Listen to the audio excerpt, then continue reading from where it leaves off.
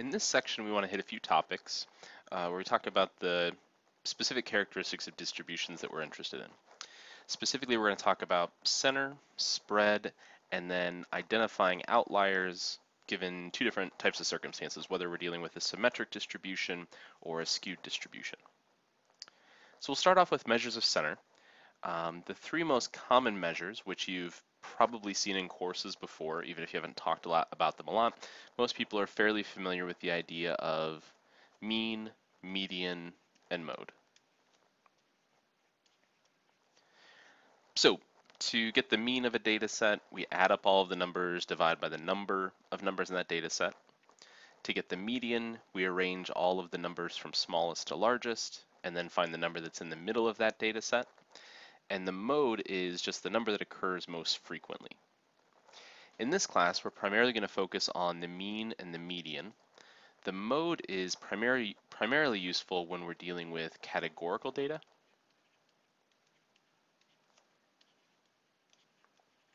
So categorical data, again, being different categories. So if we're talking about number of people with brown hair, number of people with blonde hair, number of people with red hair, we would look at which of those categories occurs most frequently.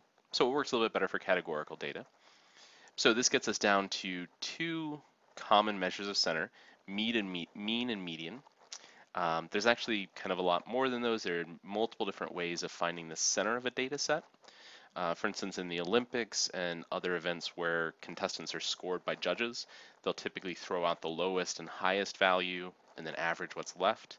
That's another approach.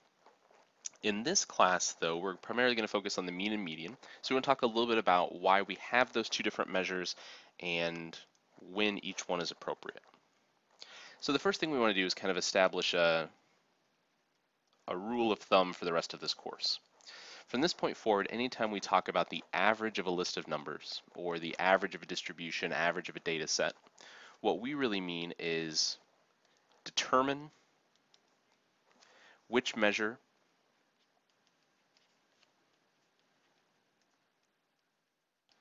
either the mean or median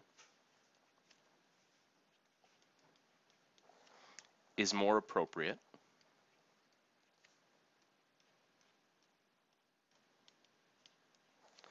and report that value.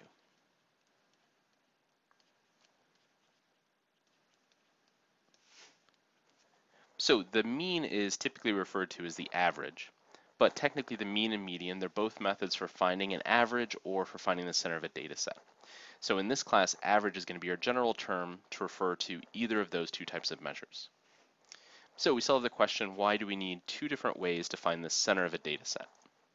So consider this example below. Assuming we surveyed nine different people to collect information on the average annual income for Americans. So with the given data that we have, the mean would be 35,000 $750 a year. The median would be 33,500 or about 34,000. So we see that the mean and the median are quite similar, but that could change if this data set that I just made up these numbers, all of a sudden we add in another data set. Let's say that as part of our sampling, one of the people that we selected was Kobe Bryant, NBA, uh, NBA basketball player.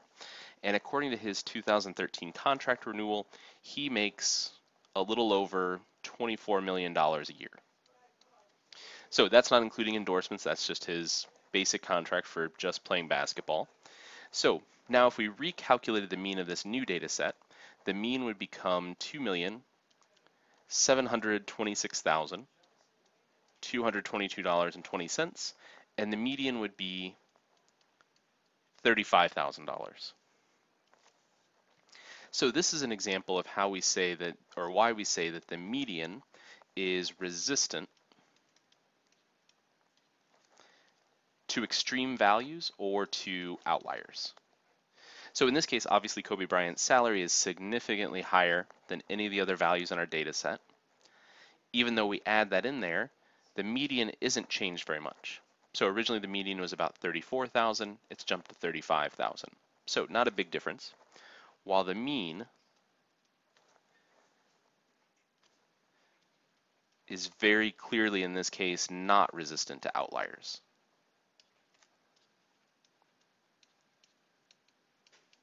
So we add in this really large salary for an individual person, and that jumps the, the mean salary from about 36,000 up to well over $2 million, closer to $3 million a year. So at this point, this number is very artificially inflated by this one extreme value. So this no longer is a very good measure of the center of this data because this number is higher than everybody's salary in this group except for one. So in certain cases, the median gives us a better measure, a better idea of what the average or typical value is. So if our data is highly skewed, like the data set above would be with this one large value, or has outliers, and we should probably say multiple outliers. One outlier on its own may not be enough.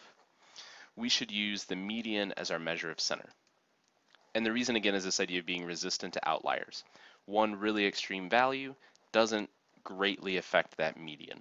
We still get a very similar number for that measure of center. So let's take a look at an example of calculating these values. So in the table below, we have the number of points per game scored by the Chicago Bears in the 2012 regular season. If we flip over to StatCrunch, where I've got this data input already, we can select Stat, Summary Stats, and then Columns. This is going to allow us to access a variety of different calculations for a given data set. So selecting variable 1, we can select mean, median, and we'll go ahead and calculate the skewness as well. So we'll calculate those three values for our data set. In this case, giving us a value of 23.4 for the mean, a value of 23 for the median, and a skewness of 0.57. So in this case, with a mean equal to 23.44, the median equal to 23, and a skewness of 0.57, what we see is the mean and the median ended up with very similar results. So the two values are very, very close. And based off that skewness, we have data that's moderately skewed, so not highly skewed. So since that data in that example was only moderately skewed,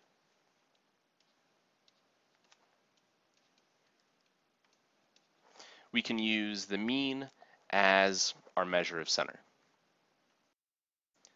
Now looking ahead at our next example, in this case we're looking at the, as of 2012, the legal limit for people to possess medical marijuana. So in different states that were approving this as a legal uh, entity, there were still limits on the possession limit. So what we can do is take this data, consider in StatCrunch, and consider the same thing. We want to look at the skewness to determine whether the mean or median would be appropriate and see whether those values are different. So again, selecting stat, summary stats, and then columns. In this case, my data is in variable 2. I'll select the mean, median, and skewness. So in this case, we have a skewness of a little over 2.2, so about 2.3. So we have data that's highly skewed, and we have a median of 2.5, a median of 5.4. So depending on the context, those numbers might be larger or farther apart, but in this case, if we're talking about ounces of a substance that you can have on you, a difference of 2.5 ounces and almost 5.5 ounces is quite a bit of difference. So in this case, the skewness is higher, meaning that, that mean, the mean is going to be inflated by some of those larger values. So our median is the more appropriate measure to use in this case. And we can probably tell that uh, or guess that we would have seen some skew there since if we look at Oregon and Washington, they had some exceptionally high values in terms of the number of ounces for that possession limit. So what we see in example three here is that since our data was highly skewed, since we had that skewness of 2.28, so much larger than 1, in this case we need to use the median as our measure of center because the mean is inflated by those extreme values. So we consider the mean to be our best measure of center. If we're talking about the center of a data set, the average of a data set, the mean is the number that we want to use. It's preferable because of the way we calculate it. It takes in all the values for the data set into consideration versus the median, which bases it all off just that one number that's in the middle.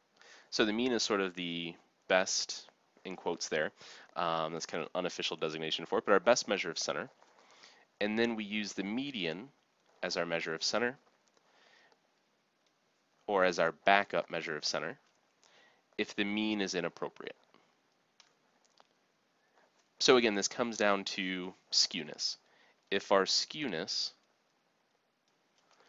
is less than negative 1, then our data is highly skewed, or if it's greater than positive 1, our data is highly skewed. So that would mean we would have to look at using the median as our result.